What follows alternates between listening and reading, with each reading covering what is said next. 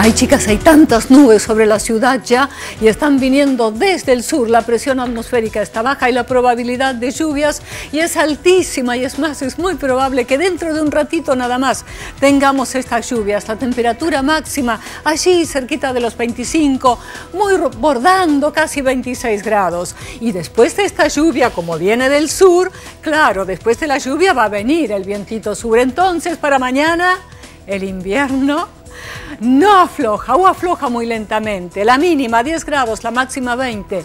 Eso sí, para mañana mucho sol, pero a la mañana bien abrigaditos, porque 10 grados es frío, en los alrededores más frío todavía. Para el viernes mucha nubosidad, otra vez inestabilidad y estaría mejorando para el fin de semana. Para el sábado la temperatura máxima 24, con bastante nubosidad, pero no totalmente cubierto. Y el domingo votamos sin lluvia. Es información del Servicio Meteorológico Nacional.